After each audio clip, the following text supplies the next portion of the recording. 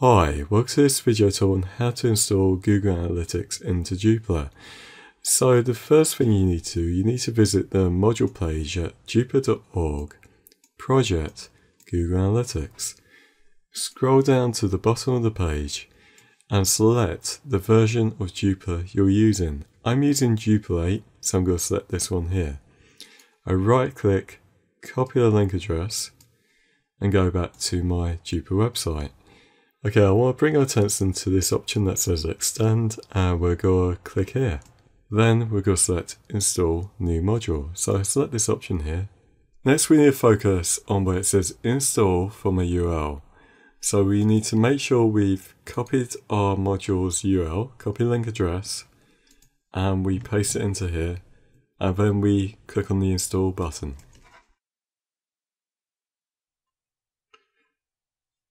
Once the module is installed, we click on Enable Newly Added Module.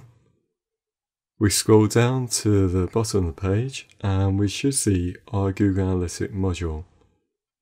You can see here it says Statistics. We enable it here, scroll down, and then we click on Install. Next we're going to focus on the option that says Configuration. To click here uh, and then we're going to go to where it says Google Analytics. We're going to select this option here. Here we can add our Google Analytics ID. So we're going to go over to Google Analytics, sign into our Google Analytics account. Then we're going to focus on this option and click on Create New Account. Give it a name. Put our website URL in here. Here we put our website URL, for example.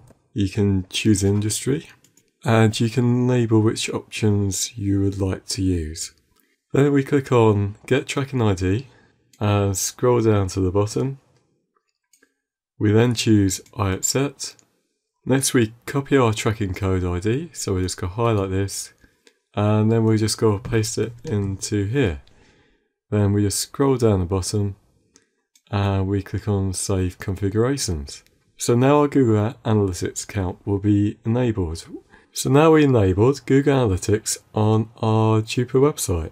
So thank you for watching my video. If you found this video helpful, please get a like. And if you want to get more video updates on how to use Drupal, please subscribe to my YouTube channel. I have two links below my video. If you click on this link here, it will take you to DigitalOcean's website. I've been using DigitalOcean's hosting for about two years.